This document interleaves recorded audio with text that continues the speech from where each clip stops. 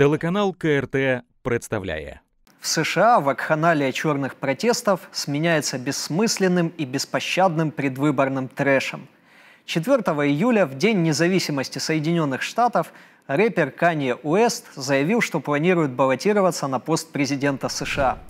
В своем твиттере он написал, цитирую, «Теперь мы должны реализовать обещания Америки, доверяя Богу, объединяя наше видение и строя наше будущее. Я баллотируюсь на пост президента Соединенных Штатов». Как пишет издание Daily Mail, букмекеры уже оценили вероятность победы Уэста – если раньше его шансы оценивались в 0,2%, то есть как 500 к 1, то теперь этот коэффициент возрос в 10 раз, до 2%, то есть как 50 к 1. Тем не менее, лидеры президентской гонки все еще значительно обгоняют музыканта – так, коэффициент выигрыша действующего президента Дональда Трампа составляет 7 к 4, а коэффициент его противника из Демократической партии Джо Байдена 8 к 11. А вот как охарактеризовало намерение Уэста участвовать в выборах британское издание The Guardian. Цитата. «До дня голосования 3 ноября остается всего 4 месяца, и пока не ясно, не станет ли твит Уэста более уместным для Дня дурака, чем для Дня независимости США. Также неясно, подал ли 43-летний музыкант официальные документы для включения в избирательные бюллетени штатов. Крайний срок для добавления независимых кандидатов в избирательный бюллетень во многих штатах еще не прошел.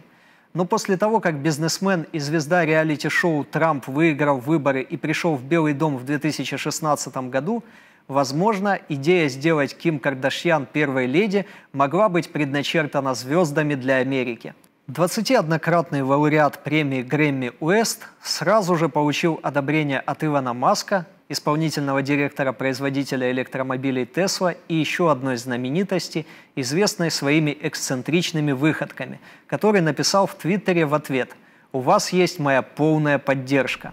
Британское издание также напомнило, что в 2018 году Уэст встречался с Трампом в Белом доме, Тогда на встречу он явился в кепке с лозунгом действующего президента «Make America Great Again», то есть «Сделаем Америку снова великой», и очень комплиментарно отзывался о Трампе. Как вы могли догадаться, для превращения избирательной кампании в фарс и отвлечения жителей гетто от увлекательных погромов выдвижения в президенты одной знаменитости мало.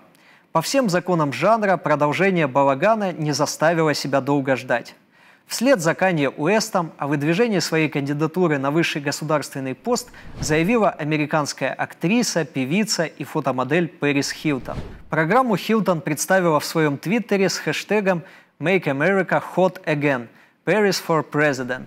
Здесь требуется пояснение – Слово «ход» в переводе означающее «горячий» в данном контексте использовано в значении «жаркая штучка», акцентируя внимание на привлекательности и развязном образе жизни певицы.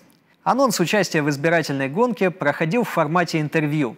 Когда интервьюер спросил, кем будет ее напарник, она сказала «Рианна, она красивая и талантливая. Я думаю, она станет отличным вице-президентом». Критерий для напарника Перес прост, цитирую – Безусловно, женщина, которая честна и скажет вам правду, если ваш наряд вам не идет, а еще она должна быть горячей.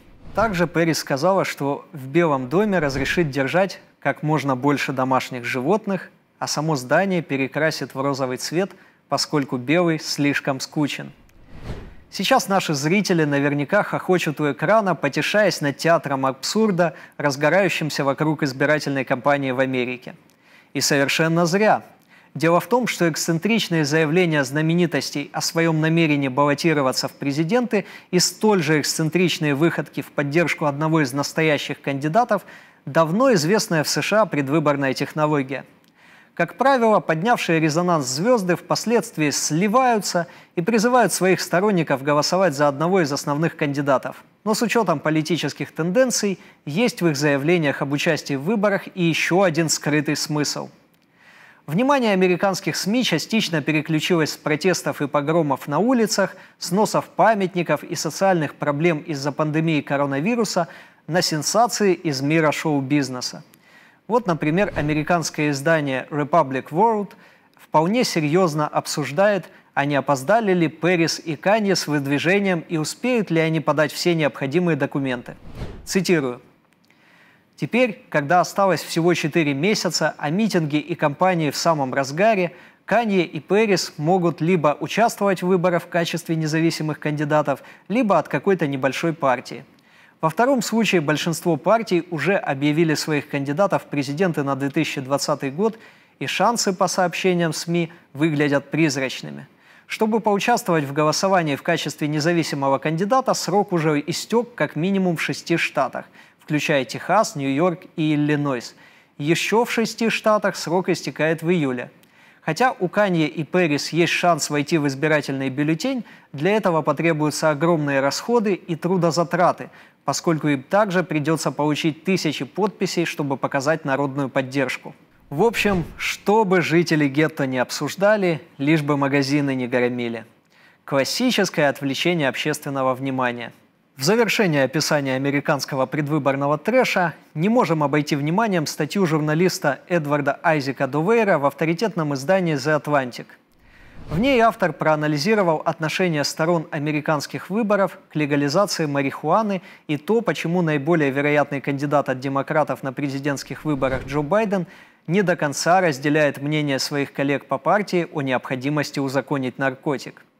Далее приводим цитату – Демократические политические консультанты мечтают о таких вопросах, как легализация марихуаны.